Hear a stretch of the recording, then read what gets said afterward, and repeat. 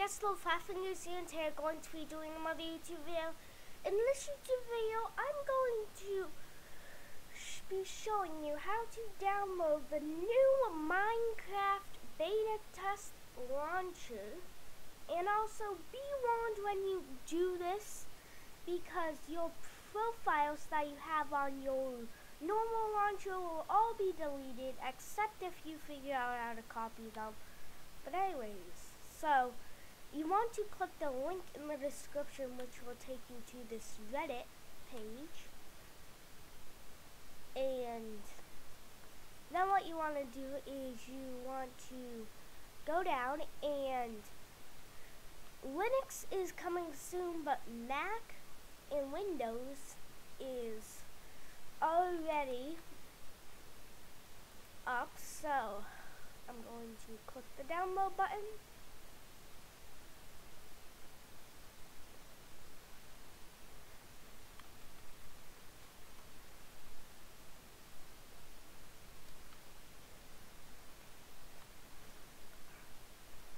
once it's done, you want to click it. And then you want to extract it to where you want it to be. I want it to be on my desktop, so I am just extracted it onto my desktop. And then the Minecraft launcher should be in there. And I will just move it to my desktop and there we go.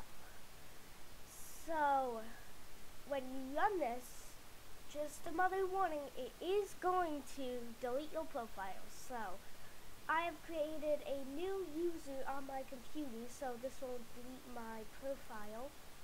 So I'm going to click it and it is downloading the runtime. Should go pretty quick because I have a very fast PC. And it might make a few photos on your desktop. That is normal. Once it's done, I'll show you how to get rid of those.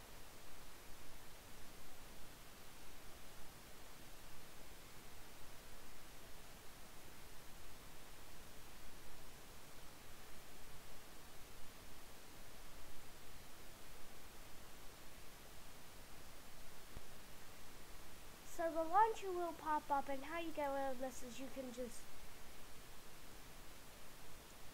click to get this menu and then what you want to do is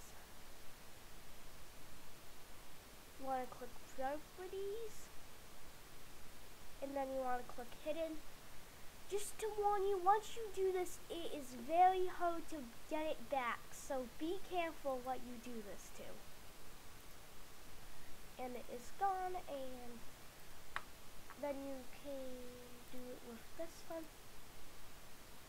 And then this.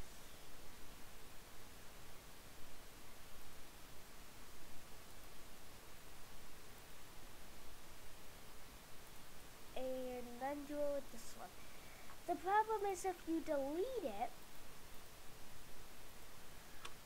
um, you'll have to re-download it. So if it's hidden, if I launch the launcher again, I don't have to re-download all that stuff. So it's just to save them on your desktop.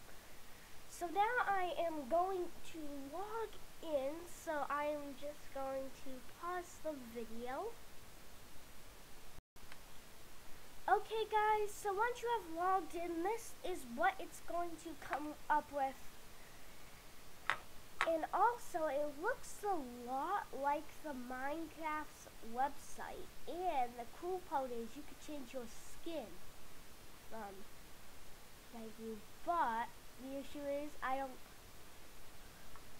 know the security questions, so if you guys want me to get figure out my security questions, um, leave a like and then I will also do a tutorial on this whole new launcher. But anyways, hopefully you guys all enjoyed this video. If you did, please make sure to smack that like button and subscribe. And I'll see you all next time. Bye!